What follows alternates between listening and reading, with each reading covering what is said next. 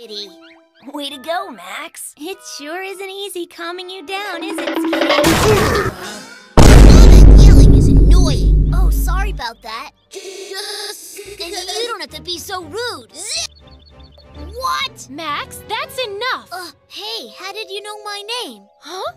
You're saying that your name is Max? Yeah. Well, his name is Max, too. What? You're kidding. Hmm. So, there are two Maxes?